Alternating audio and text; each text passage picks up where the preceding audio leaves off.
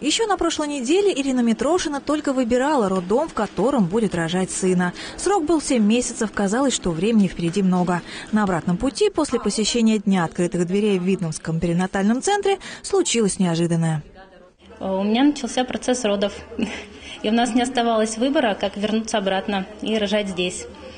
Вот. мы, когда выезжали из города, ну, к сожалению, видели, что там не очень хорошая обстановка на дороге, и очень переживали по этому поводу. И нам, к счастью, встретился автомобиль от э, наших ДПС. Эм, я, наверное, радовалась ему как четырехлетний ребенок. Вот, и он нас очень быстро и оперативно сопроводил до роддома. Через час после того, как Ирина снова переступила порог перинатального центра, родился ее второй сын Илья. Сотрудники ДПС решили навестить молодую маму, в судьбе которой они приняли непосредственное участие. Ирина Юрьевна от Государственной инспекции безопасности дорожного движения вручаем вам такой скромный подарок. Хотим пожелать вам здоровья, чтобы вы росли, поправлялись и как можно быстрее вас выписали домой. Сотрудники полиции передали игрушки для сына, а Ирина еще раз смогла поблагодарить за помощь своего спасителя, инспектора дорожно-патрульной службы Ленинского района Алексея Позднякова. Можно я вам руку пожму?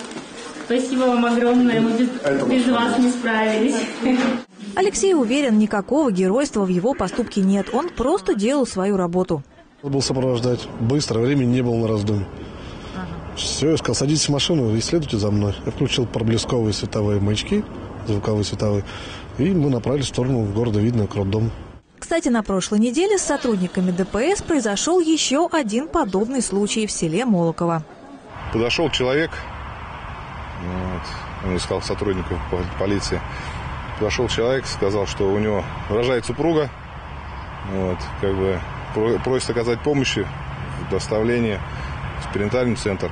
Так как было воскресенье и дорожная ситуация была очень сложная, пробки были, угу. садили ее как бы на переднее сиденье в автомобиль, включили проблесковые маяки, звуковой сигнал и поехали.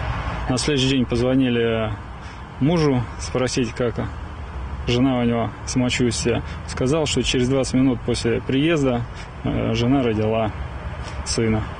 Молодую маму Эладу Хазееву сыном уже выписали из роддома, поэтому поздравить женщину с этим событием спасители в погонах отправились к ней домой.